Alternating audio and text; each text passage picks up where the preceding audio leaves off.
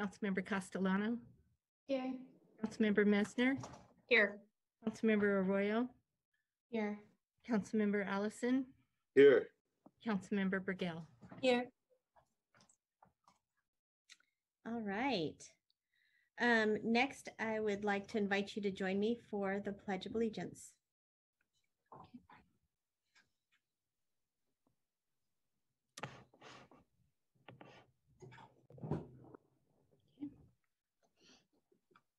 I pledge allegiance to the flag of the United States of America and to the republic for which it stands, one nation, under God, indivisible, with liberty and justice for all.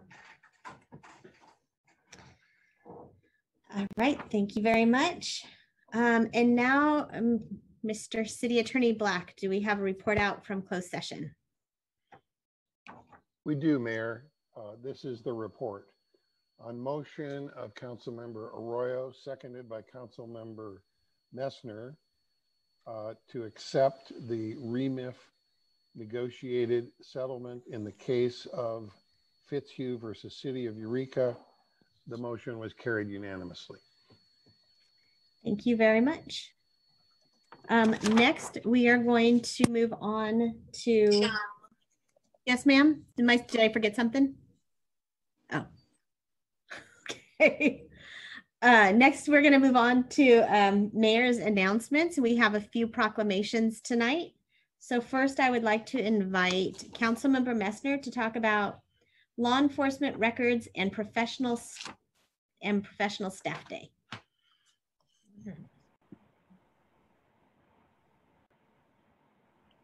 There we go. Unmuted. Thank you. Um, so in recognition of Law Enforcement Records and Professional Staff Day, November 6th, 2020, whereas law enforcement agencies throughout the state depend upon law enforcement records and professional staff personnel to provide them with these vital services. And whereas information is the lifeblood of any organization and accurate law enforcement records must be created, collected, processed, maintained, disseminated, and disposed of in accordance with local, state, and federal laws. And whereas citizens have an expectation law enforcement records are maintained with accuracy and integrity, overseen by staff dedicated to continual professional development and the highest standard of operational efficiency. And whereas enforcement records and professional staff personnel are crucial to helping law enforcement agencies identify, pursue, capture, and process suspected law violators. And whereas those professionals continually use their expertise and experience to assist in serving the public, maintaining criminal statistics and assisting patrol and investigators um, track felons and improve apprehension strategies. And whereas it is important to recognize California's law enforcement records and support personnel for their valuable contributions to our law enforcement system, and whereas the Eureka Police Department Records Section is responsible for the integrity of law enforcement records for prosecutors, allied agencies, and citizens, tracking missing and wanted persons, accounting for recovered stolen vehicles, firearms and properties, live scan and fingerprint services, call taking, parking enforcement responsibilities, creation and verification of statistical reports for the Department of Justice and Federal Bureau of Investigations, and a host of behind the scenes duties in support of the department and city goals. Now, therefore, I, Heidi Messner, on behalf of the Mayor and Eureka City Council, do hereby recognize and express support for the Eureka Police Department Records Section and professional staff personnel for their invaluable service to the department and the city, and proclaim November 6, 2020 as Law Enforcement Records and Professional Staff Day in Eureka, California. Thank you all. That is a long list. You did a great job. Thank you. And Chief, I see you're um, on the line. Did you have anything to follow that up with? Yes, and and second, I'll introduce you briefly to Amanda O'Neill. I believe she's on, and she is our records manager. You know, I have to say that um, it's a challenging job for her and her staff, and has been for as long as I've been with the Eureka Police Department. But the last several years, um, the requirements of them have immensely changed with changes to the law of everything from uh, how crime statistics are now being tracked from uh, you know, the FBI, DOJ, to um, a bunch of other things that are being piled on every year. And it's amazing what they've been able to do. I have heard repeatedly from, you know, our allied agencies that they look to our records uh, department as a local leader and example to strive for. And uh, a large part of that is just due to their work ethic and the job that they do every day. So we're extremely appreciative. Thank you for recognizing them today. And briefly, if Amanda would like to say something.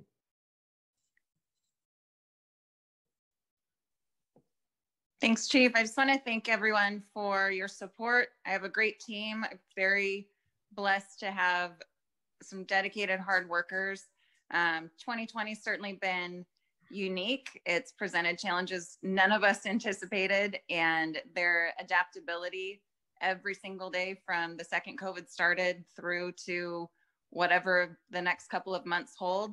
Um, I know we'll get through it, and really looking forward to some significant changes the chief was mentioning in 2021. So thank you, council. Thank you, mayor. Thank you, chief, for your support. And thank you for this evening. Thank you. Thank you for the work that you do. All right. So now we're going to move on to the next proclamation. This one will be read by Councilmember Bergel for National American Indian Heritage Month. Oh, you're off. You're on mute.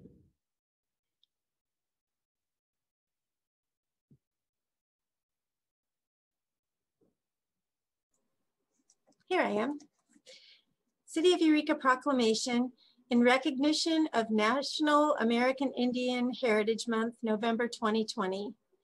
Whereas the history and culture of our great nation have been significantly influenced by American Indians and indigenous peoples, and whereas the contributions of American Indians have enhanced the freedom, prosperity, and greatness of America today, and whereas the time has come to stop suppressing the memories of crimes constituted against American Indians by the seizing and occupying of their land, and whereas historic atrocities committed against the tribes living in Humboldt County are recently coming to light, and whereas American Indian customs and traditions which were once suppressed are now respected and celebrated as part of rich legacy throughout the United States.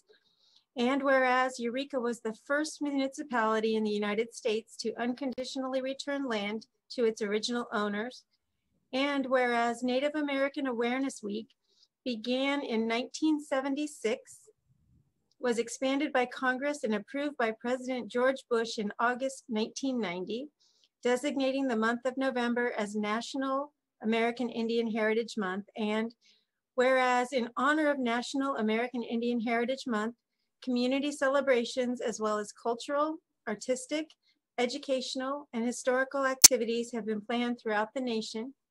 Now therefore, we, the City of Eureka, do hereby proclaim November 2020 as Amer National American Indian Heritage Month in the city and urge all of our citizens to observe this month with appropriate programs, ceremonies, and activities. Thank you. Yay. Do we have anybody here to receive this um, proclamation? Thank you. It looks like Virginia Howard Mullen. Great.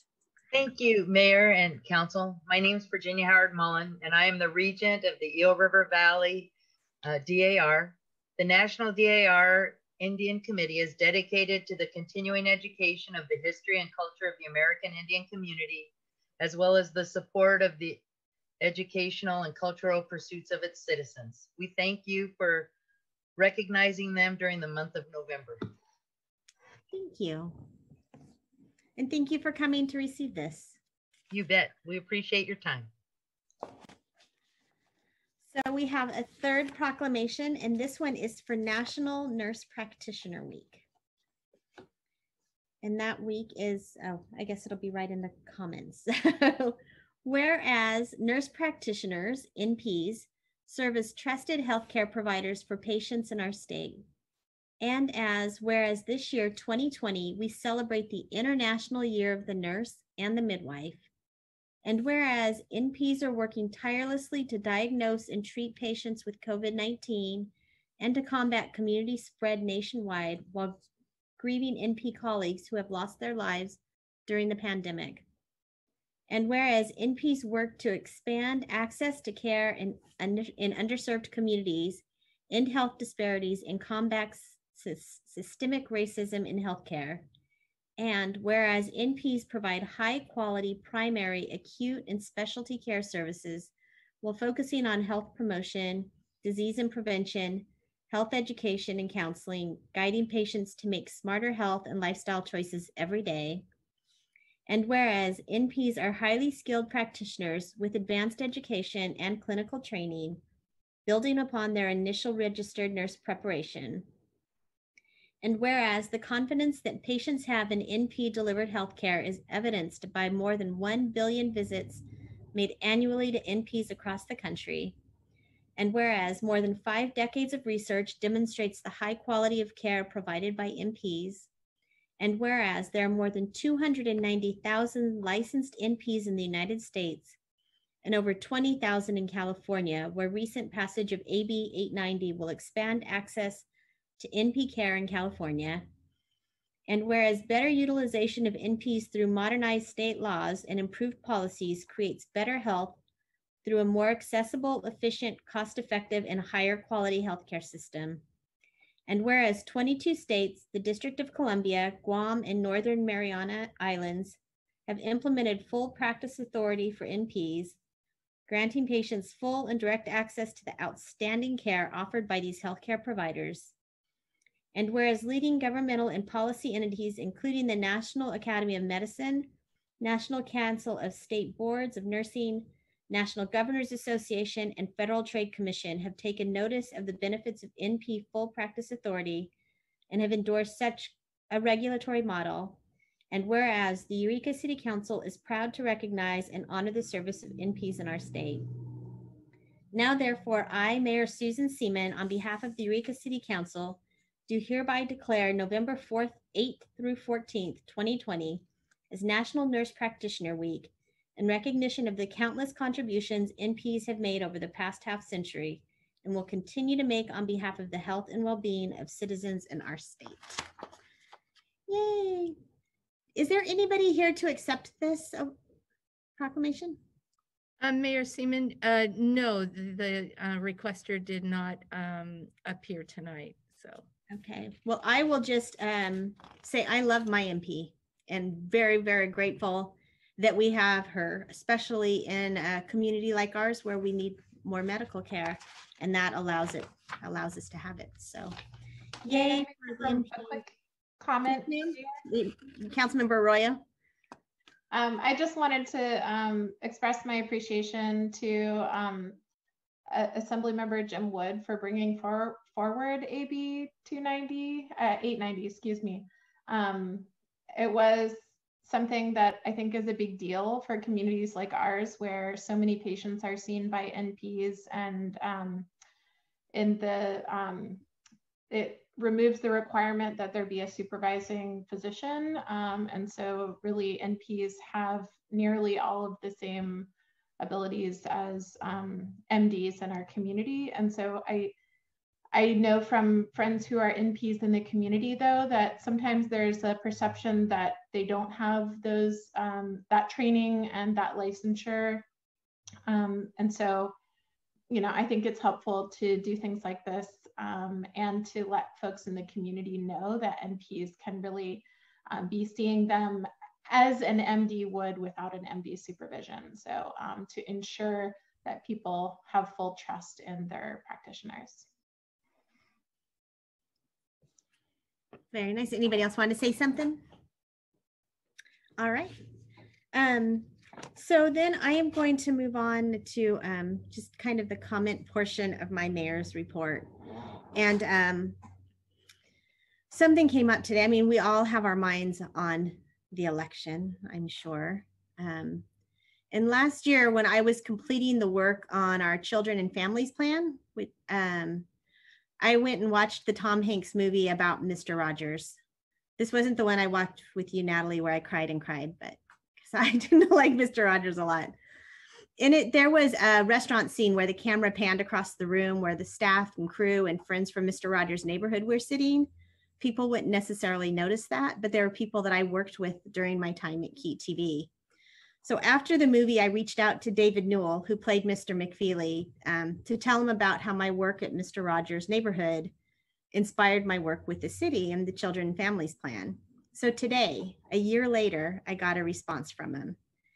And it seemed like such good timing to come on a day that's so fraught with anxiety and so many people are so stressed out. And Mr. Rogers' messages about kindness, they weren't just placations. They um, he was able to make big, impactful change with a quiet, uncondescending consistency that was just wrapped in kindness. And he talked about hard things. Um, he talked about things like divorce and death and Vietnam War and 9 11. And in a world where everyone seems to be yelling, he showed that quiet strength could be resounding. And so David's letter today um, made today lighter for me. And I thought we could all use a reminder about the power of kindness and that no matter what happens tonight or tomorrow or the next day or later on this week, um, we can build our own fortitude by remembering those people who provide us strength that by supporting us for who we are. And we could also be that person for others. So today I am going to pull a card from the Mr. Rogers playbook. And I'm going to ask you all to take a few minutes, a few seconds to remember who gives you strength and who inspires you. So I am going to ask Assistant City Manager Powell to put 30 seconds on the clock where we'll just be quiet and we'll remember those people um, who do that, who provide us strength and who inspire us. So would you mind doing that, Assistant City Manager Powell?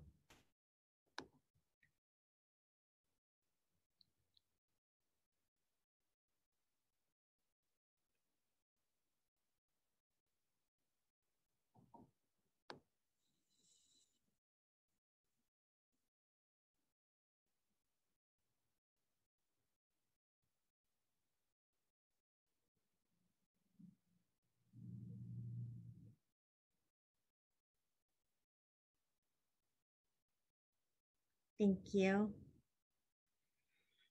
I know it's a long time to sit quiet with our own thoughts. Um, but no matter what happens with this election, um, the gift that those people that you just thought about gave us are still going to be there to help us endure, disapprove, or win gracefully over the next week. So I want to close by thanking those folks out there who are working today in the polls um, it's a ton of work for them. And I want to help those who have been out there voting, practicing their civic duty, those who helped get out the vote, and those um, those few people who actually stood up and ran for office. So it's a hard, uh, it's going to be a, a, fraught few days, but we can all get through this um, with a little kindness. That was it. And with that, I'm going to move into the regular meeting. And we are going to start today with um, some presentations. We're going to have our first presentation is the Eureka Housing Authority update, and I'm going to invite uh, Executive Director of the Housing Authority, Cheryl Churchill, to speak. Thank you, Cheryl. Thank you, Mayor Salmon. Hi there. Thank you all for giving me a few minutes to give a very brief update, um, overview of public housing in Eureka, where we're at, where we're headed, and um, as I'll be asking for community input in the coming months. A lot of folks aren't too familiar with our housing authorities or may not even know we exist, yet we're just one block from the Eureka Mall, and we serve about 1,200 families. The Eureka and Humboldt housing authorities are two distinct housing authorities that exist under one roof to supply affordable housing. We are the County of Humboldt Housing Authority, which operates the Housing Choice Voucher Program, also known as Section 8, currently supporting about 900 families throughout Humboldt County via partnerships with private landlords, for whom we are very thankful. And we are the City of Eureka Housing Authority, which owns and manages 269 rental units, including senior and family housing, and our largest rental program, which is traditional public housing. This is the program I want to talk about tonight. Currently, our public housing program is providing homes for 191 families, or almost 2% of the households in Eureka. 108 of these are single parent homes navigating the challenges of working and raising their children. 69 of these heads of households are disabled and dealing with issues many of us may never imagine. And 51 of these households, over 25%, were homeless at admission, and a majority of those tenants have now been housed for a year or longer. These tenants work in our community, they volunteer and provide community service, their children attend our schools, and altogether they result in over $6 million in annual income that goes back into our community. Due to years of underfunding public housing, HUD is encouraging PHAs with public housing units to go through a process they call repositioning. HUD's goal was to reposition more than 10% of the US public housing stock by the end of 2020, largely by transitioning from a traditional public housing model to tenant-based or project-based voucher assistance using the Section 8 program. HUD's intent is to create more flexible financing opportunities for housing authorities and to put affordable housing properties on a path to long-term financial stability. Options for repositioning include HUD's RAD program, which creates public-private partnerships to rehab and to manage affordable housing with project-based vouchers. There's also voluntary conversion of public housing to voucher-based assistance. And there's disposal and demolition of public housing, which entails releasing housing authorities from their declarations of trust with HUD, paving the way to bring in developers and investors to rebuild. When looking at HUD's options, disposition and demolition for Eureka's oldest properties built in the 1950s and 1960s, as well as voluntary conversion to voucher support for our newer properties, are strong options we're exploring for our 198 public housing units in Eureka. Currently, we're at the very early stages of working toward a project that classifies as repositioning under HUD's various flexible strategies. Ideally, the outcome of repositioning would be to increase the number of families we serve by adding more affordable housing units in Eureka. We intend to issue an RFQ in the coming months to look for qualified developers interested in working on a multi-phase project, and then to issue an RFP from a subset of these in 2021. To make this project a reality, we'll be leaning on local landlords with excess housing capacity to provide voucher supported temporary rehousing for tenants. And as things get underway, the Housing Authority will hold several meetings, either by Zoom, conference call, in person, depending on the pandemic status, to receive input from our tenants and the community regarding design requests and requirements. The takeaway tonight I want for you all is this. The Housing Authority's goal is to, at a minimum, improve our affordable housing stock. But further, we have an opportunity here not to just not just to better our existing housing, but to create new improved housing that helps meet the needs of our community, including adding more affordable housing. Please be thinking about what you consider our greatest local needs so you'll be ready to share your thoughts and give input when we begin having public meetings. This will be an extensive process and it's important to me that we hear from our tenants and our community and our local government to work toward our shared goals. Thank you so much for your time tonight.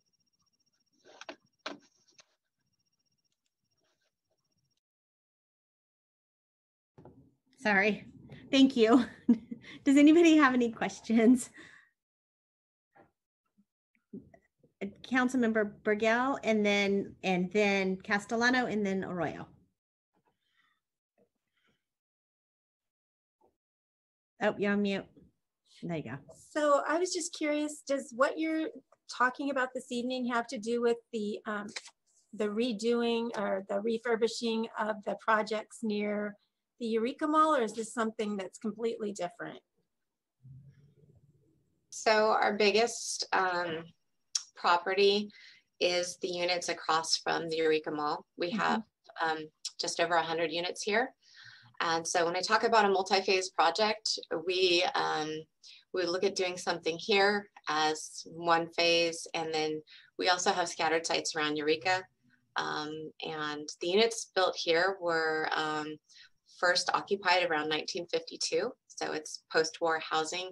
It is our oldest housing.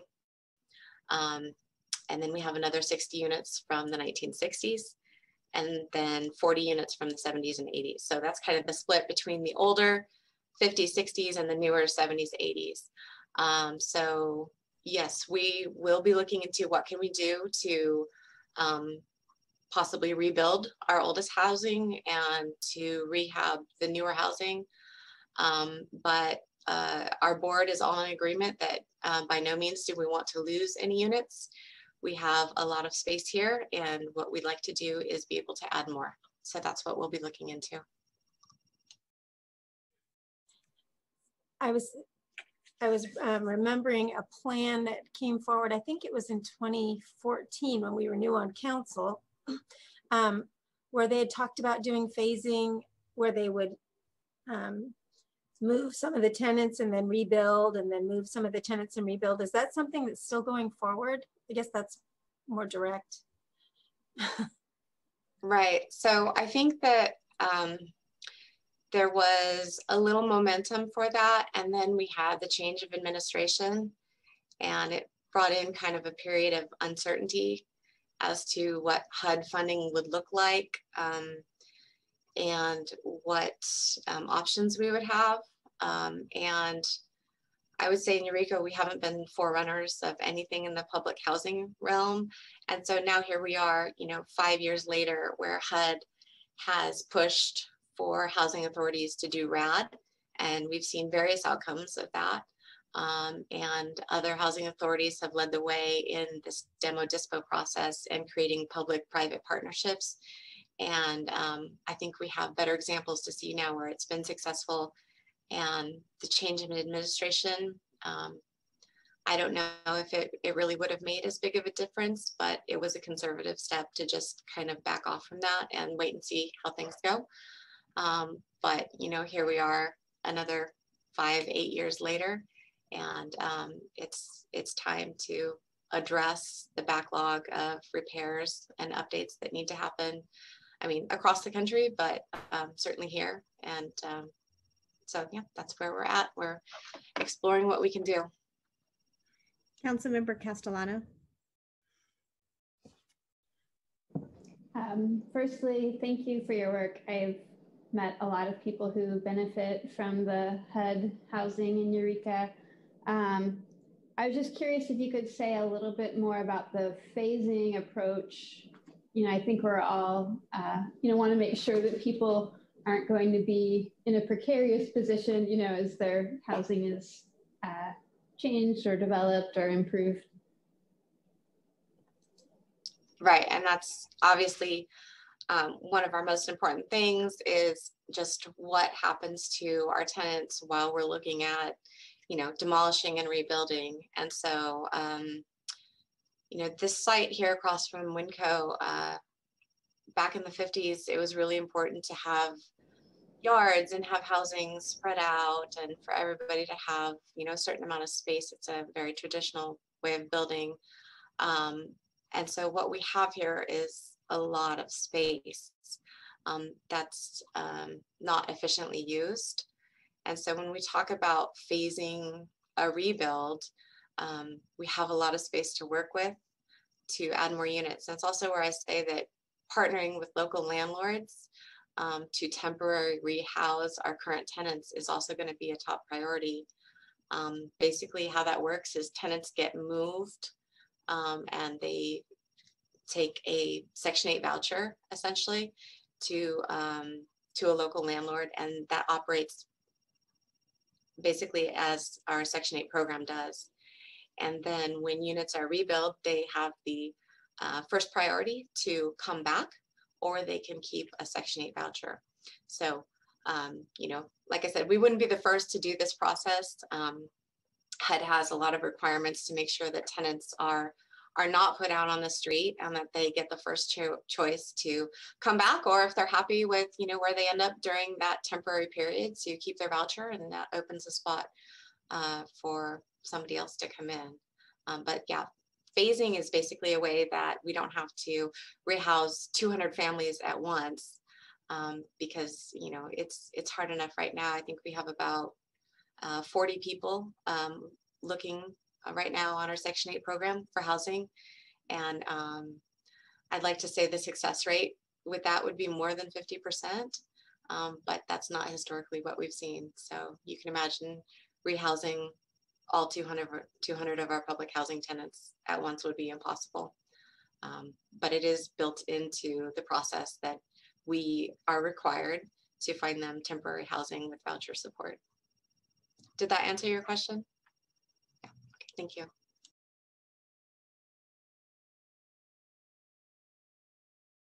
Councilmember Arroyo. Thank you for the um, great update and um, I really appreciate all your work.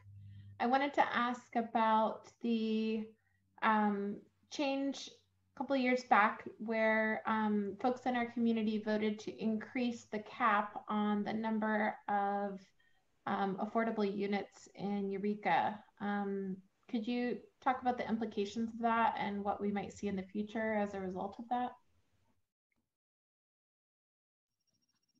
So like I mentioned, we have a good amount of space here to work with.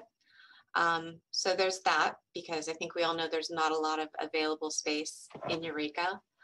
Um, and we also acknowledge that there isn't enough senior housing here. There aren't enough one bedroom units here for people, um, affordable housing. And so, um, and this is where I come back to, we ideally would like to add more units. Um, we have the space to do it, you know, and so when I talk about being at the beginning stages of repositioning, we're going to look at um, what developers are out there that we can work with, um, what financing strategies we have, um, and really what we can do to add housing units in Eureka. Uh, you know, looking at the housing element, our uh, the number that we say we can build in a in you know a certain number of years and the need they don't match. You know the number that we can build doesn't even keep up with the need.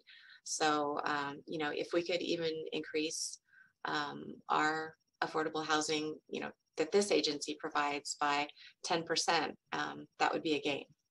You know it, if the finances are there it could be more um, no promises but you know we i feel like we have some space to work with and we're just going to be looking for people's input um, to see what, what the community supports, um, you know, what the city supports and what we can do.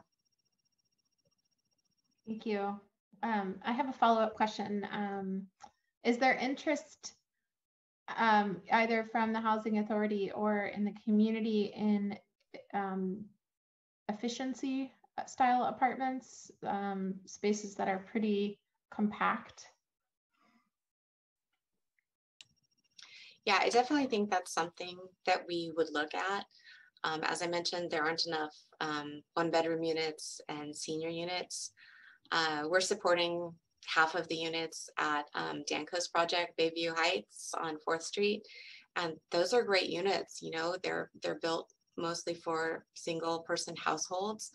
And um, I don't know if any of you have been in there, but they're really nice. I mean, there's there's absolutely no um, no reason we wouldn't look at doing more of those units. Um, you know, financially, you can add a lot more of those than you can three and four bedroom units. So um, definitely a possibility. Great, thank you. Mm -hmm. Um, can I ask, do you, when you plan your housing, which is the primary and maybe sole purpose is for housing, do you ever do you figure out supportive services in there like childcare? Would you ever like build a childcare facility in in the unit? It's a good question. Um, somebody mentioned the um, the idea a number of years back about um, rebuilding, and at that point there was a vision that included retail space, you know, potential daycare, community space. Um, and I wasn't, you know, in the process at that point. Um, and so at this point, it, it is kind of what can we, uh, what can we do financially? Um, what is the community requesting and is the support there to do that? Uh, you know, you look at uh, what Danco is building in Samoa right now, And their plans there are, you know, almost to it for it to be its own self-contained community with um, daycare and community center and medical and all that. And it's great. Um, again, it, it comes down to what is financially feasible. You know, what can the project support? So it's definitely something that we would look at. Okay. Any other questions? All right, thank you so much for coming in and I hope to hear from you more often. Um, because it's a, such an important part of what's going on in our community. And uh, this is the first time we've got, got to visit with you since I've been here. So I am looking forward to hearing from you more. Thank you. Thank you. It's nice to see some familiar faces here. Um, and so we'll move on to the next presentation, which is the Eureka or the holiday campaign report. And that's going to be our economic development coordinator, Christine Tyson.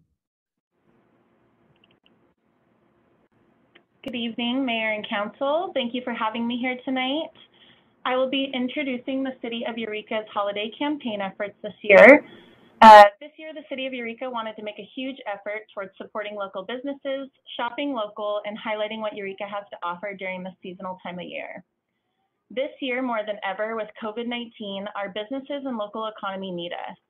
We are impressed by our local businesses and how creative and strong they have been through this year of uncertainty. Many of those businesses struggled through the tourism season and what is normally their most successful time of year. We are committed to supporting them during this holiday season and making our best effort towards success during these hard times.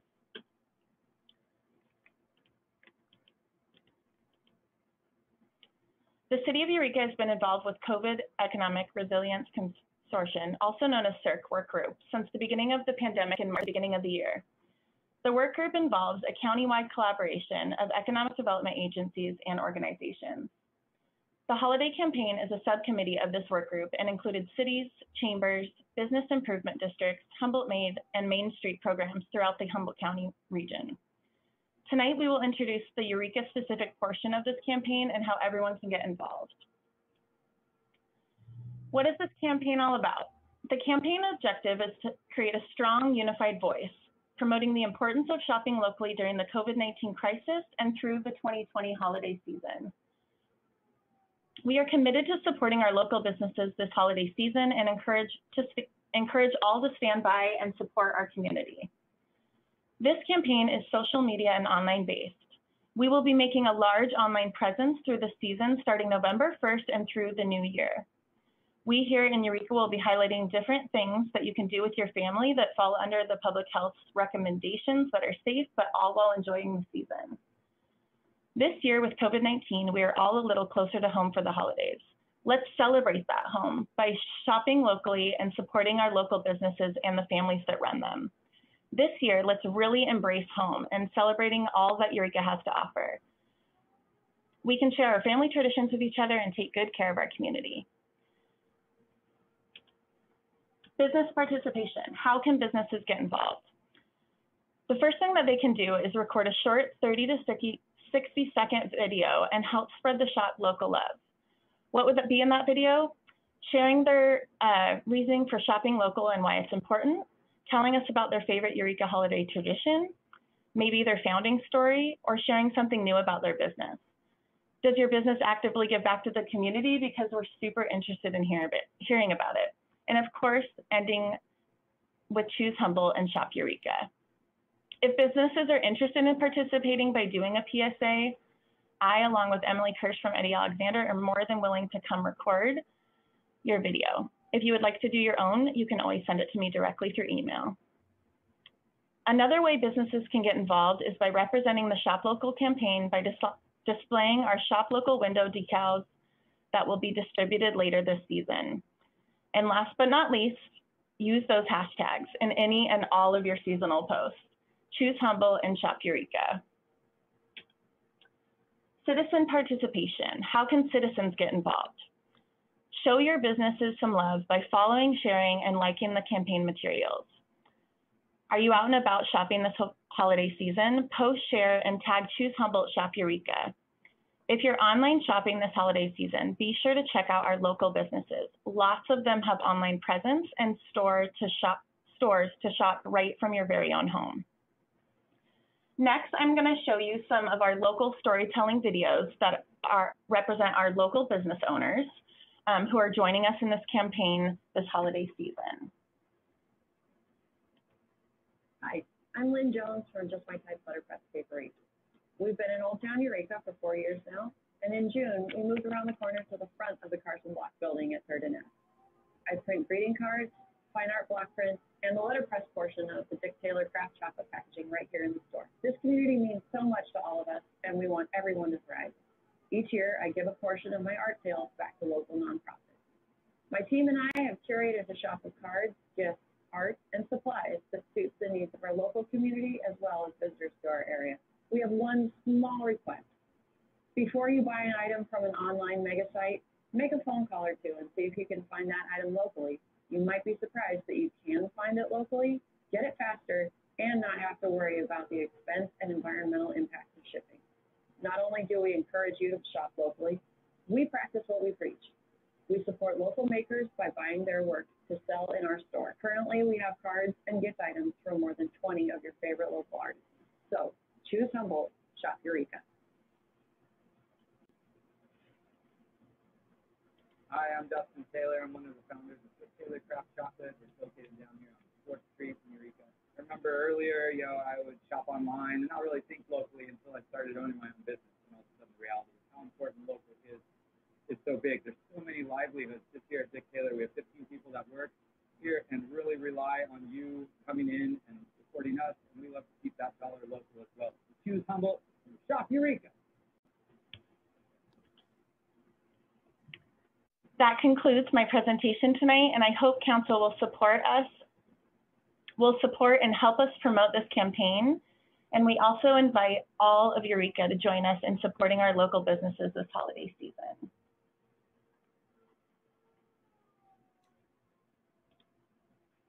Thank you, Christine. Um, I'm here if you guys have any questions. Looks like we have a question from Councilmember Bergel. Thanks for that great presentation. I love the videos. So I'm curious about the online presence. So is there going to be a link or something where you can find like a grouping of businesses or is it just you have to know the business's name to go there? Um, No, um, we're working right now on creating a platform on our own uh, city website. So we'll be sharing that in the future here soon.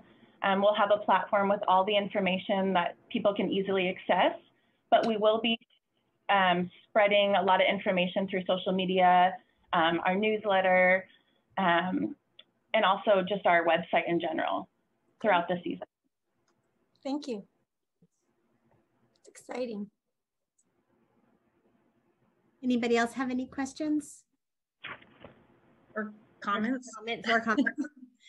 just um, thank you. And uh, so if everyone who's hearing this just puts shop local, hashtag shop local and puts pictures um, up and anything that we can do, that's what you're asking, right? For us to do over the next. Yes, You but want- I will say it's Shop Eureka. Oh, shop. Eureka, sorry. Shop Eureka, hashtag shop Eureka. Yes. I love that this campaign is uh, county-wide too, and that each community is picking their own city to highlight. Um, that'll bring a nice continuity. Uh, What we talk about a lot is, you know, uh, rising tide lifts all boats. So we want all of our local communities to do better, and uh, we want Eureka to do really well. yeah.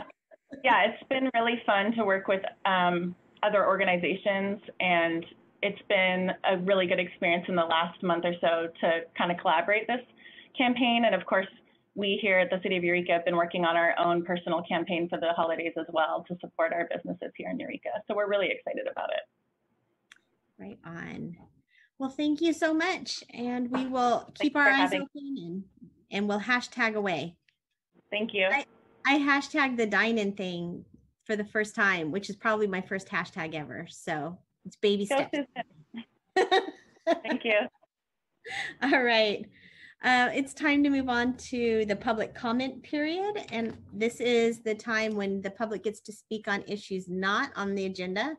And I do believe we have a caller today. So Assistant City Manager Powell. Oh, you're muted. Yes, Mayor, I have Latanya Jacobs on the phone and I will ask her to begin speaking. All right, thank you. Ms. Jacobs, uh, you'll have three minutes and you can begin now. Hi, my name is Latanya Jacobs. I live in Eureka, California. I was looking for a house to rent, to own, or a home, house to rent, uh, or to purchase. And one of the obstacles I was uh, facing, this is regarding housing. My, my issue is, um, or my comment is related to housing. Some of the issues I've had when I was facing was uh, currently looking for housing, being asked to pay for listings of housing, houses that are available in the city of Eureka. Need information about realty companies or property managers. I want to make sure that who I'm dealing with are reputable companies and not something, some fly-by-night places. Because if they're asking me to pay for listings, that sounds kind of weird or shady. Um, online viewing of property is sometimes limited. If they're saying that they don't want you to, um, they want to make sure that they have serious buyers or renters. So list the uh, images or photos that they have of the property is very limited. So you can't help but need to go and view the property, and that's an issue. Uh, must be on the bus route. The the housing must be on the bus route near grocery stores and close to the business district in Eureka, and must be reasonably priced. Um, I'm not just one who's um, earning a lot of money, and I want to make sure that I'm getting a decent place that doesn't have rodents and a place that um, has um, doesn't need to have work done on it. Working appliances, work washer, uh, dryer, refrigerator, stove, range, um, and uh, those are just some of the obstacles or things that I'm concerned with or would be hoping to find uh, decent housing in the city of Eureka. That's my comment. Thank you very much. Thank you. Did we have any other public comment today? No, Mayor, we did not have any other requests. All right, thank you very much. So we will move on to the consent calendar. Does anybody want to pull anything from the consent calendar or do I have a motion to approve it? Councilmember Messner. I'll make the motion to approve the consent calendar. Second? I'll Council- second. Oh, Councilmember Arroyo said it. Well, Can we do a roll call vote, please? Councilmember Castellano, Aye. Councilmember Messner, Aye. Councilmember Arroyo, Aye. Councilmember Allison, Yes. Councilmember Bergel. Aye. Unanimous yes vote, motion carries. Excellent.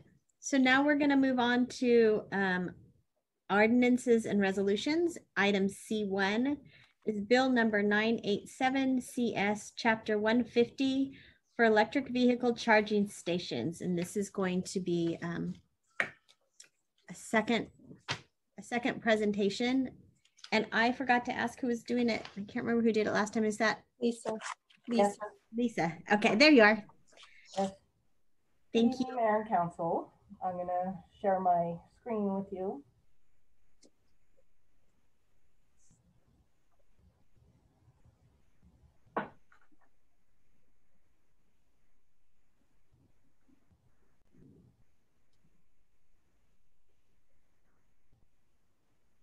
Can you see the screen?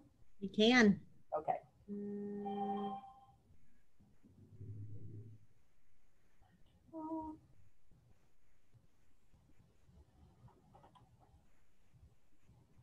So this evening we have bill number nine eighty-seven CS, a municipal code amendment for expedite expediting permit processing for electric vehicle charging stations. And um, the bill is for adoption today.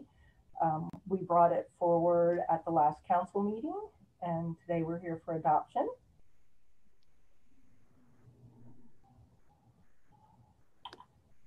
So the recommendation is uh, waive reading, read by title only, and adopt bill number 987-CS, an ordinance of the City of Eureka, amending Eureka Municipal Code, Title 15, Chapter 150, to add Section 150.400, setting forth procedures for expediting permit processing for electric vehicle charging stations.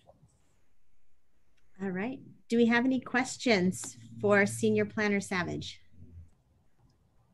It looks like we're all good there. Do we have any public comment on this item? No, Mayor, we have not had any requests. All right, so I will bring it back for comments uh, and or a motion. Well, Councilmember Bergel. Well, I would like to wave, move wave reading, read by title only, and adopt bill number 987-CS, an ordinance of the City of Eureka amending Eureka Municipal Code Title 10, Chapter 150 to add Section 150.400 setting forth procedures for expediting permit processing for electric ve- vehicle charging stations. I'll I'll second.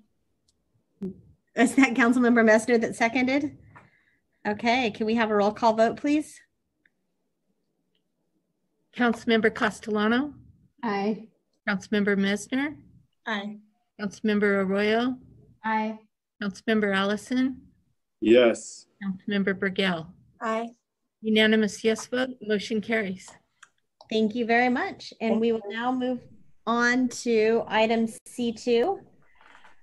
Bill number 988 CS Chapter 150 for efficiency dwelling units. And I believe this one is Senior Planner um, Castellano.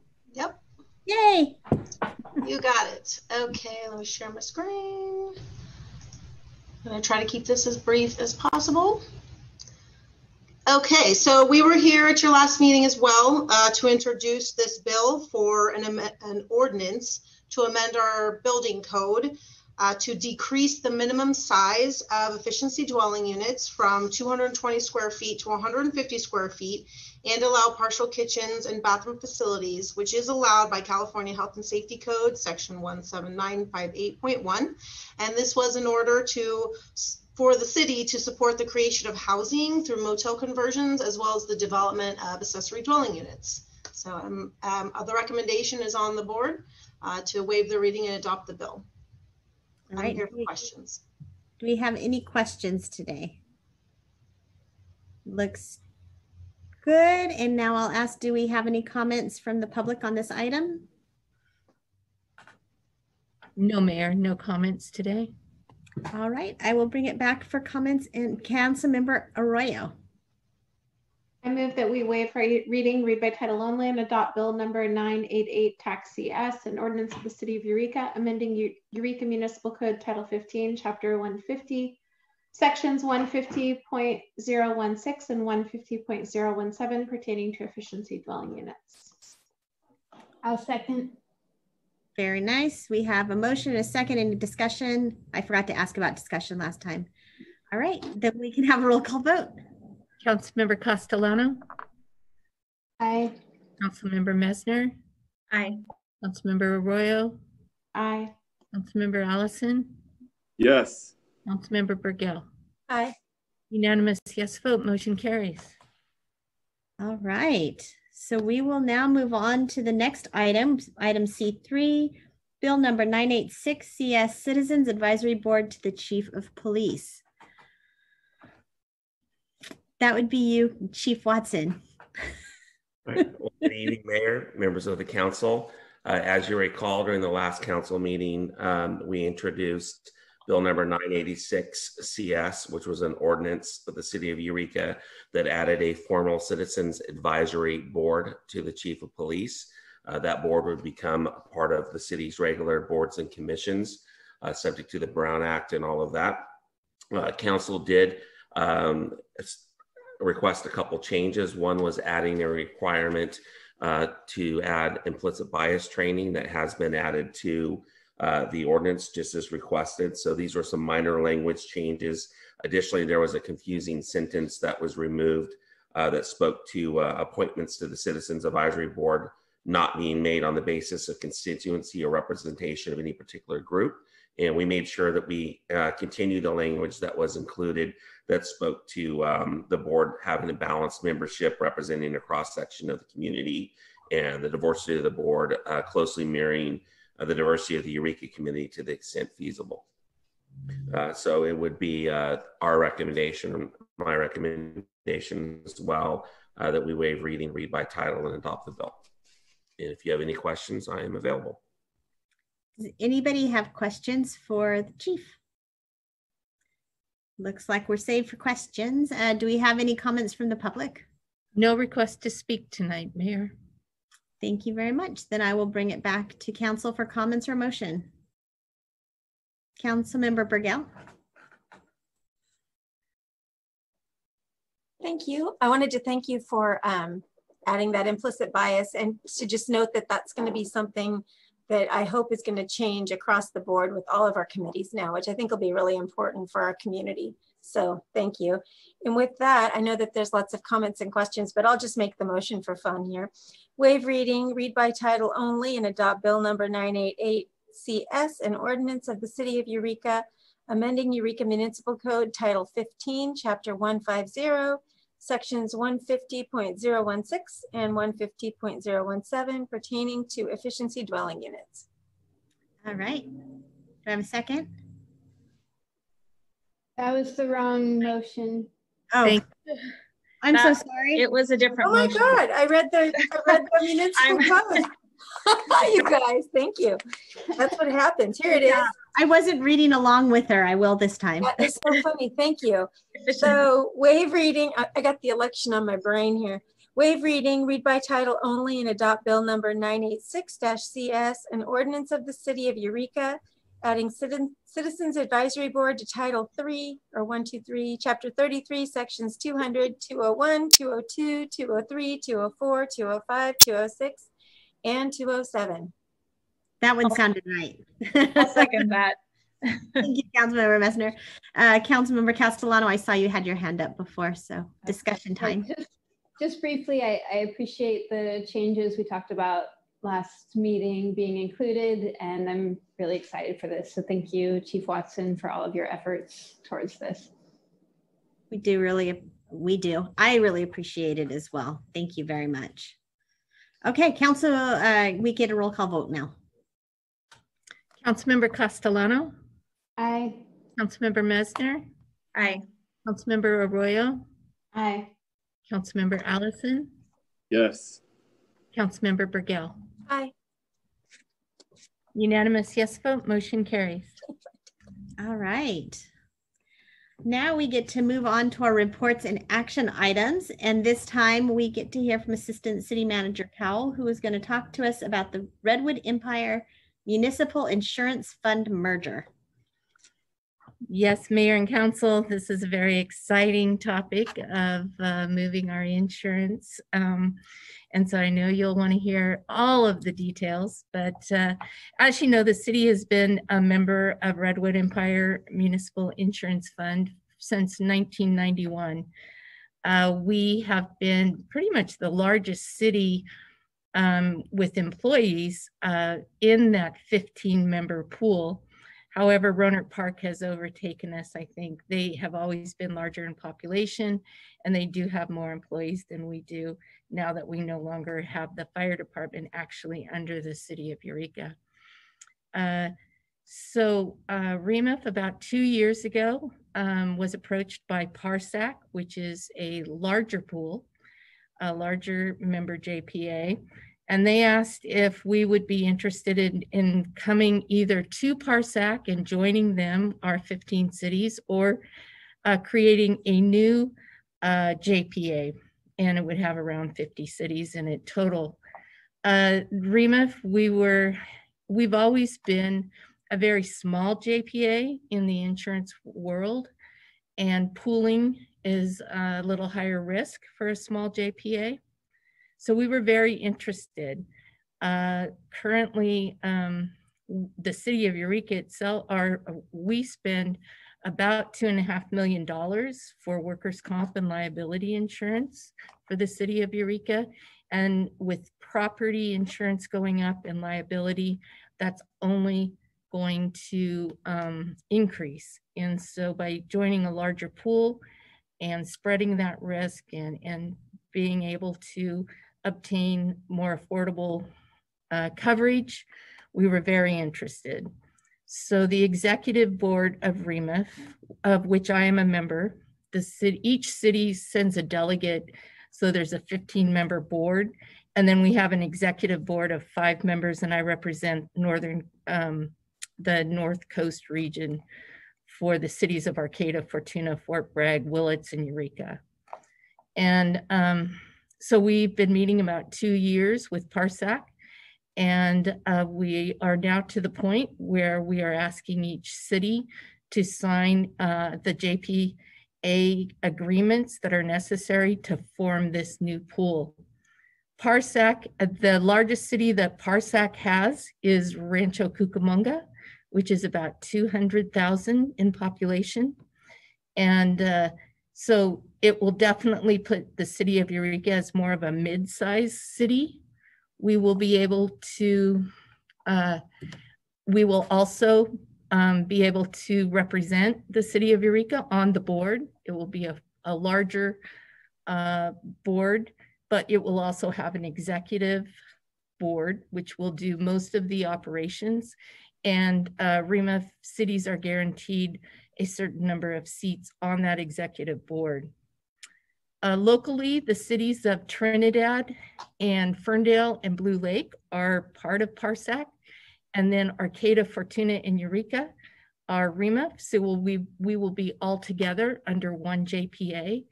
And the benefit of that is the requirements, insurance requirements that the cities have. Sorry, it's a little hard with this mask on.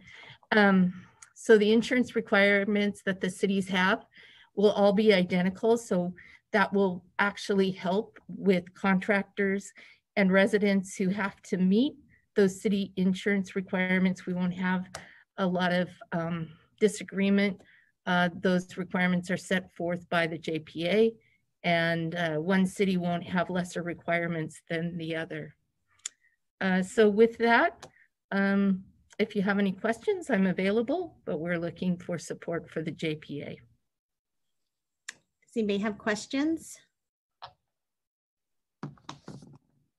I don't see any. Do we have a line of callers waiting to talk about this issue?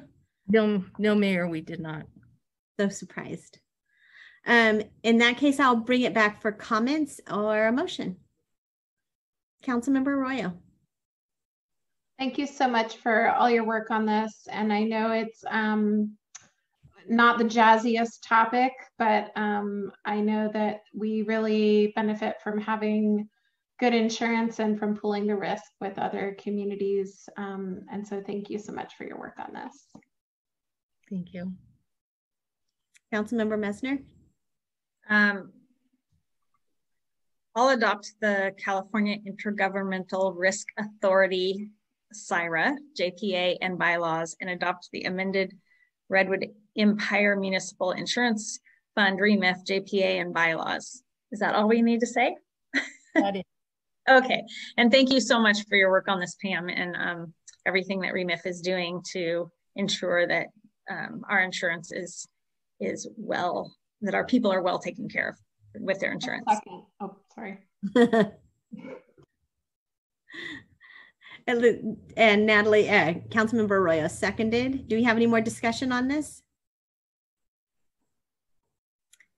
I also want to say, uh, I, I can't remember what the exact quote was, but it was something about the things we talk about are inversely proportionate to how important they are.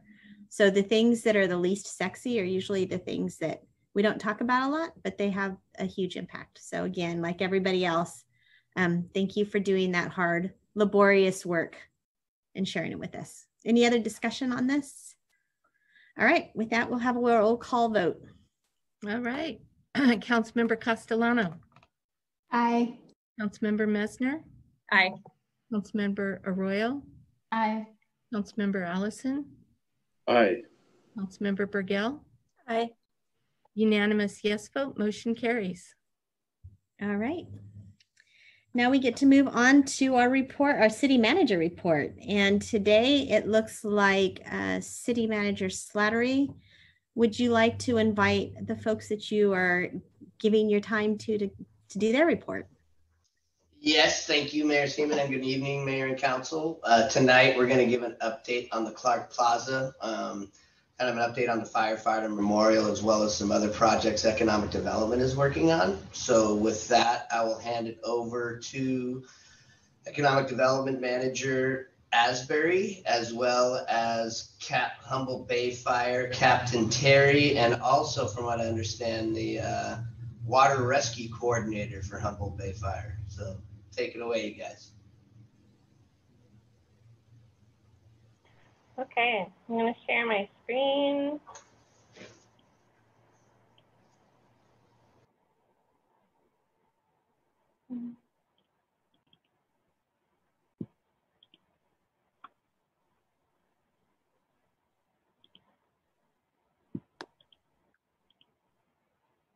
All right, good evening, Mayor and Council. Tonight I'm going to give you a brief update on Clark Plaza. We have a couple different projects coming together that includes the Clark Plaza Community Food Court, the Humboldt Bay Fire Memorial, and some beautification and landscape changes. Back in September, I presented to you our Eureka Cares restaurant, bar, and retailer support program. And part of that program is an outdoor eating area at Clark Plaza so that citizens can get takeout from surrounding restaurants and then have a pleasant place to go and eat. We've ordered the tables and signage, and we're partnering with the visitor center to put the tables out and in. But since we are at it, we thought we should also partner with Humboldt Bay Fire on their memorial installation to really increase the positive activity in the area. Uh, David Terry from Humboldt Bay Fire is joining me tonight. David, do you want to give um, council an update on the memorial and your fundraising efforts? Yeah, I'd be happy to. Um, so, hello everyone. Uh, it's nice to see everyone again. I haven't seen a lot of you in a while. So, uh, real quickly, uh, a little over a year ago, we came to you looking to install a fallen firefighters memorial to honor uh, our six fallen firefighters that we've had through the history of the Eureka Fire Department, now Humboldt Bay Fire. Um, in that time, we have managed to raise almost all of our uh, fundraising goal, uh, which we initially had set out at $40,000. Um, through various donations and uh, help through the community, we've managed to just about get where we need to be. Uh, we've already contracted with the artist who's going to be doing the bronze memorial. Uh, it is currently down in the Bay Area at the foundry being cast right now. Uh, we're hoping to have that back sometime in November. Uh, we've also contracted with a stonemason who is in the process right now of uh, cutting the pedestal that the uh, bronze statue will sit on, as well as the benches that are going to go around the memorial. And he's also going to be uh, redoing the uh, the base, the foundation in the Clark Plaza where the memorial will sit. Um, with that, uh, speaking with Swan and Christine Tyson, we've been working on uh, moving forward with the landscaping part of the project. Um, and I'll let Swan speak about that a little bit more here in a few minutes. Uh, but as of right now, um, with everything moving forward, we're hoping to have everything completed and have a dedication ceremony sometime uh, late spring, early summer uh, for the official unveiling. But we're hoping to have the work done long before then. Thank you. So while working on implementing the community food court and memorial, uh, we felt we really needed to address some of the landscape issues and do everything we can to beautify and activate the area. Um, first of all, there's a tree that affects the brickwork that's being laid for the memorial and has affected the irrigation, the concrete planter, and sidewalk. Second, the whole area looks a little bit rough and unmaintained. And then third, from a CPTED perspective, it's not the most welcoming area. The brush is kind of high and it's hard to see what's going on inside. Visibility is important to enhance feelings of comfort and security. I reached out to EPD, and since the beginning of the year, we've had 60 incidents at Clark Plaza. So we really want to turn Clark Plaza into a COVID-safe, vibrant, family-friendly destination. Uh, we had GHD provide us with a conceptual planting plan. It does involve removing the existing landscape, but then planting a combination of ground covers, grasses, and seven trees, most of which are native and should do well in that area with minimal maintenance. Uh, the plan going forward is to remove the existing landscaping, grade the area, have the memorial installed, then plant the new landscaping, have the area power washed, and then move forward with the outdoor community food court. So that's it for my presentation tonight. We are looking forward to making this project happen quickly. We would love for you guys to um, support and promote the space after we finish the improvements, and that's it. Thank you. Uh, it looks like Councilmember Messner has something to say. Oh, she's muted though. Oh, sorry. I just had a question. In those, um, there are like four different, maybe stones. Are those stones? What's the dark, the four things that are dark around the edges? It looks like there's like um, seating areas, but then what are the four pieces? Yeah, so I can answer that. Um, okay. So the the four stones and Swan, I don't know if maybe you can. That great.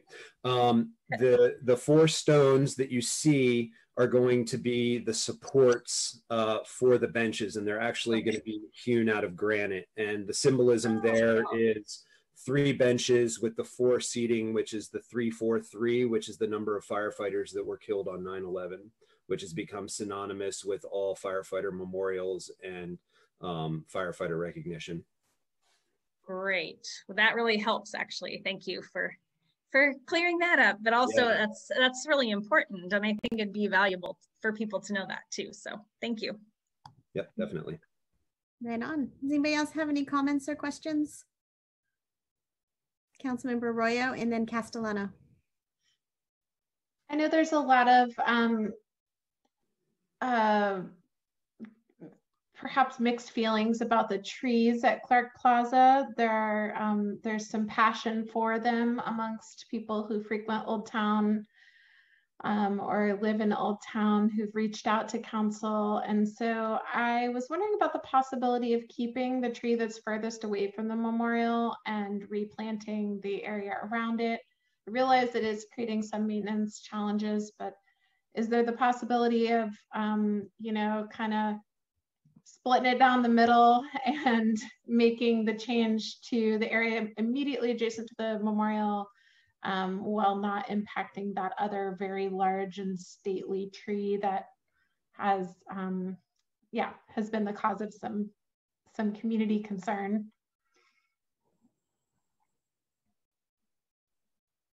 Yeah, I think from here, staff will be meeting with Humboldt Bay Fire and the parks crew to really talk about um, the trees.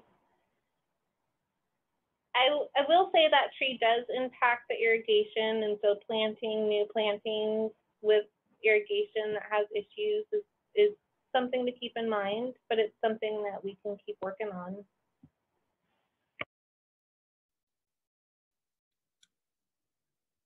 Councilmember Castellano. I had um, almost the exact same comment that I was going to uh, propose to council. And earlier today, I, I spent some time talking with um, some citizens and with Captain Terry. And um, I, I do think that there are many people who are attached to those trees. And, and I think if, if possible, it would be um, appreciated to keep the one on the more on the corner there. Um, you know, we don't have very many trees that big in Old Town, so I think that that tree is is fondly, um, yeah, renders fond feelings in the community. Councilmember Bergel.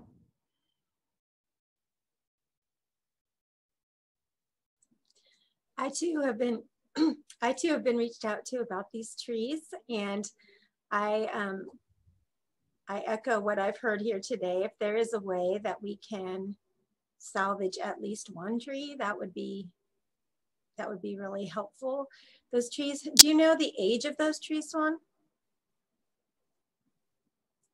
I don't know the age of the trees. It just, they are more mature and, um, you know, we don't have a lot of mature trees down there. So yeah, I would love for you to consider what's been brought forward. Thank you. Any other comments? Um, I just have a, oh, okay. Councilmember Arroyo. Um, while I do love the idea of preserving one of the trees, the one that's the bigger and further away from the memorial, um, that, you know, if, if at all possible, I do really like the planting plan, including um, native plants. And um, I think that's wonderful to include. And I'm grateful that um, that that has been developed. So thank you for your hard work on that. And the, the memorial looks beautiful. Um, I I had only seen um, the sculptural element of it as proposed, and I didn't. Um, maybe I just didn't remember, but the benches look really beautiful, um, and I'm really looking forward to seeing it there. So thank you for continuing your hard work on this. Thank you. And my question was also for uh, Fire Captain Terry. You said you're very close to raising all of your funds. How far away are you? Uh, we just had a recent fundraiser the other night with Mod Pizza, and I don't have those numbers back yet, uh, so I can't give you an exact number.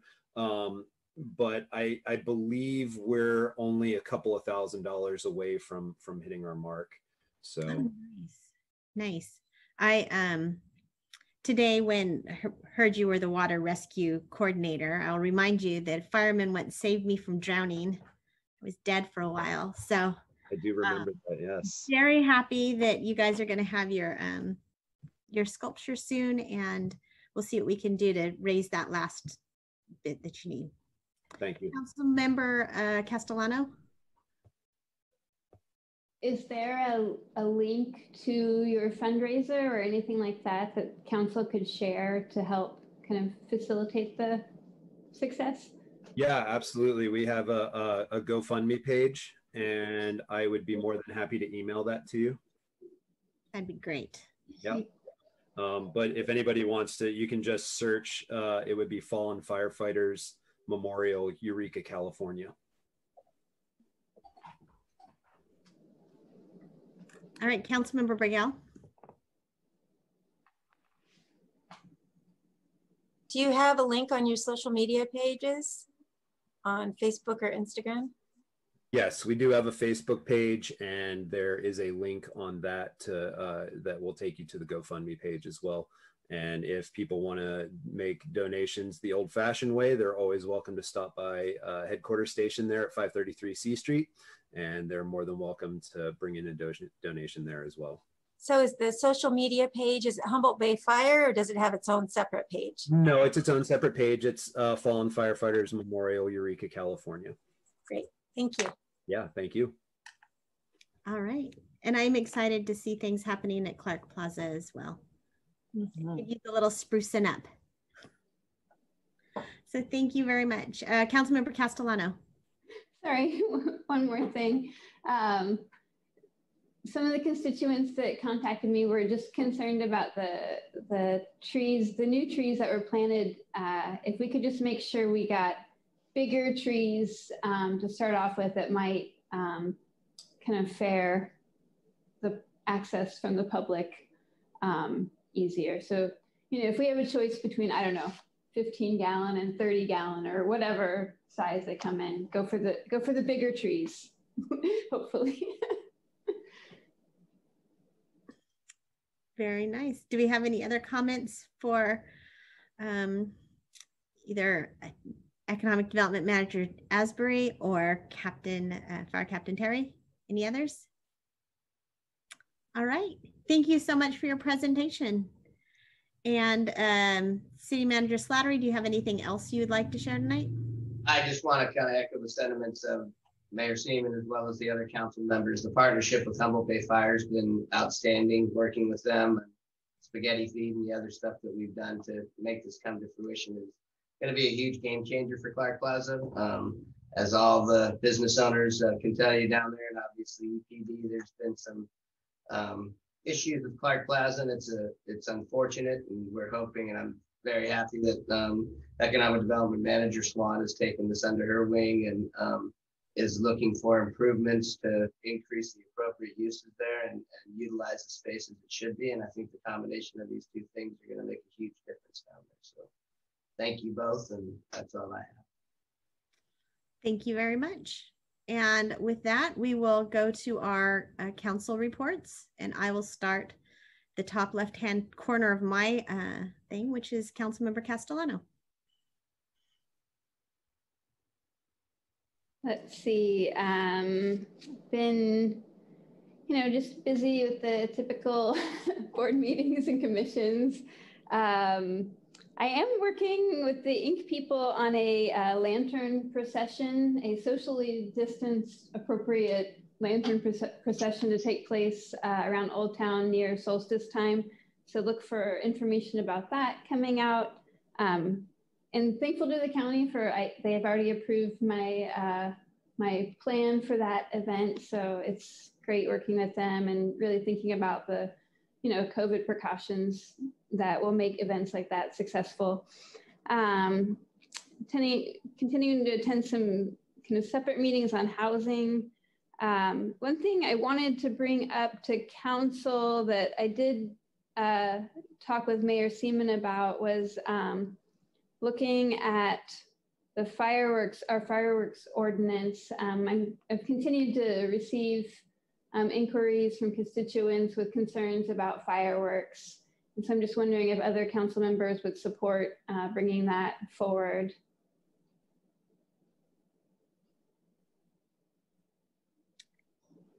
Um, and so this is just a consensus. We can't talk about it. So who is in favor of bringing it to the to a later agenda? Is that a, a yes, Austin? Yeah.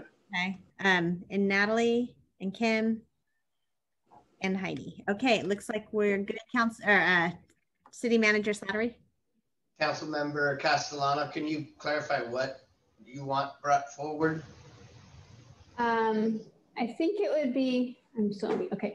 Uh, specifically looking at um, what the city can do. And I, you know, I'm not myself familiar enough with the fireworks ordinances at this time, but what could the city do to um, address uh, illegal fireworks activity in the neighborhoods?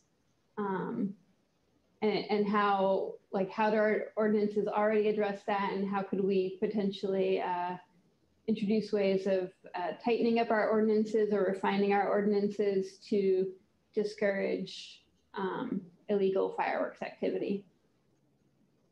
Thank you. Thank you very much.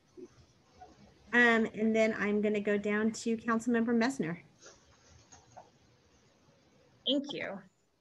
Um, yeah, I just wanted to reaffirm what Mayor Seaman said earlier in her mayor's comments that um, just no matter the results of this election, the greatest determinant of our strength and resiliency and health as a city is just determined by how we treat one another and our community.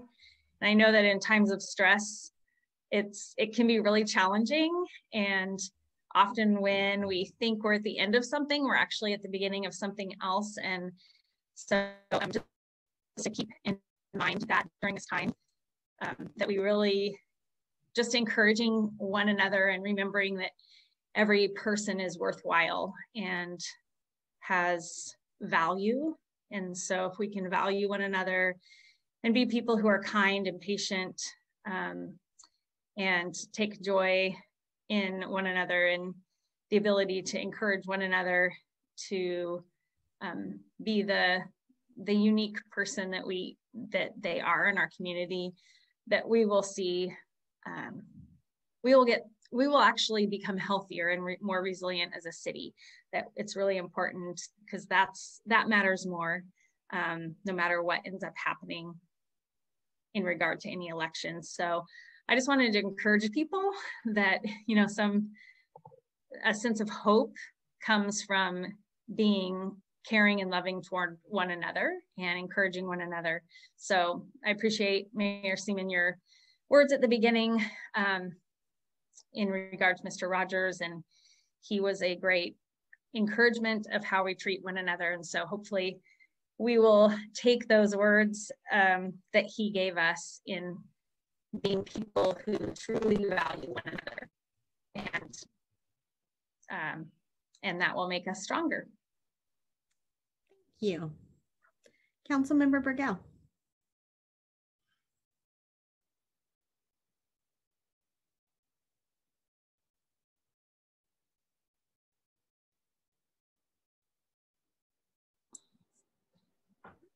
unmuting is a challenge. well, um, I've just been doing my regular meetings. I'm back at work. And I did get the opportunity, oh my gosh, to go to Boo at the Zoo this year. Um, and I got to dress up, which I love to do, as many of you know. And so it was so wonderful to see families out having a great time together, engaging, the kids running around in their little outfits. Everybody was masked, everybody got a treat bag.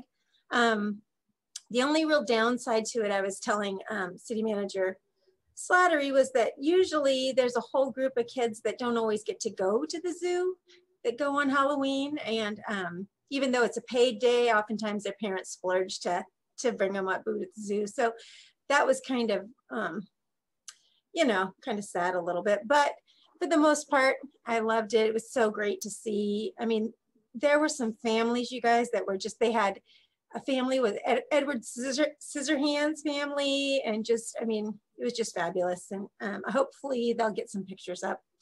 And then I too, I just want to echo, be kind anyway. it's really not that hard to be kind. Um, and I know for me, when I can't, I just really try and keep my mouth shut. So thank you for the, the words earlier from both of you. I really appreciate that because that's how we get through stuff is community and working together, not divisiveness and calling people names. Thank you. Thank you. Councilmember Arroyo.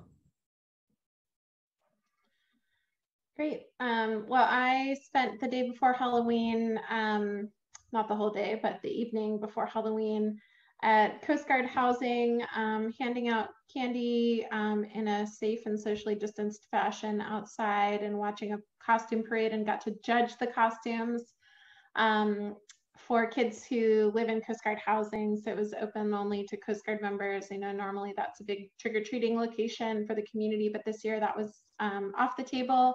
And instead it was Coast Guard families only. Um, and it was really fun and really made me appreciate how much um, Coast Guard families are a part of the Eureka community. Um, even though housing is just outside of city limits, um, it is still um, a huge component of the Eureka community here. And it was fun to see the kids and very tough to judge the costumes. Um, I realized I don't really like judging children's costumes. I'm like, they're all great and perfect. so um, so that was rough, but I, I soldiered on. Um, and then uh, in more serious city business, um, the Humboldt Transit Authority is um, looking pretty seriously at hydrogen fueling stations and hydrogen buses since um, diesel buses will not be something that we can buy um, within the next within the coming years, we won't be able to buy diesel or gasoline powered buses. They'll need to be electric or um, or hydrogen fuel. And so the electric bus has buses have been great. Um, there is some electric vehicle charging, but the range is still limited. And so for such a large vehicle, um, there are some challenges with the charging time and the range. Um, and having the power needed to get around our big rural county. So um, HTA is looking at hydrogen fueling um, pretty seriously. Um, and that is something that, you know, we may have, have as a community a need to invest in um, in the not so distant future. So I bring it up just because it's sort of food for thought about what happens with big fleets. Um, you know, I don't know if that's a possibility way down the line for um, for city apparatus as well, or what you know the technology is going to look like. But um, it's one consideration for transit and maybe for other um, other types of vehicles in the future. So some information to come about how that will impact um, infrastructure that HTA has in Eureka, but um, believe that's the only update that I had. And it, you know, honestly, we don't know that much about how it will play out yet. Um, but that is all I can think of. So I will, I will leave it there. Thanks. All right, thank you. Councilmember Allison. Hey, um, just want to thank everyone who went out and voted today. It's the most important way to showcase your voice on issues and to remind people the history of politics and democracy was originally created to reduce warfare with one another. So we have to remind ourselves to be civil um, in unprecedented times and to learn to agree to disagree um, on a lot of issues and that we are neighbors. We have to learn to get along. And I hope we can with no matter what happens in the future here. And um, I did want to add for an agenda item for the upcoming meeting. Uh, so I wanted to agendize for discussion at the next council meeting the consideration of a full-time contract for interim city manager Miles Slattery. I personally think Miles has displayed a fantastic job and duty to the city, and I don't think we can find a better person currently. I think it is important that we act sooner than later, as I don't think it's fair to keep people in interim roles for too long who want the full-time job. So I'd really be interested in discussing this at the next city council meeting. So do we have, can we take a vote on who would like to see this on the next council meeting? We don't really vote on this, right? It's just Well, you have to, we have to, just who would like to have, it, to see if we can have a majority. I what I would was- be willing to hear about, Yes. I would be willing to talk about it. Yeah. Okay, so we, we want to put uh, that on the agenda for the next meeting? Because it's personnel, would it, I'm sorry to interrupt, but would it have to be closed session? Or would it be an open session kind of thing? That was my question as well. That, yeah, that was my question too. Um, let's see, where's Bob? It seems Uh, like Bob is having some technical issues. Yes, um, we could, we could agendize it for, for discussion. Oh, is Bob back? No, I, for me, you, you just went out. I'm sorry. Maybe nobody else, but I didn't hear you. Me too. Oh, can you hear me now? Can you hear me? Yeah. Okay.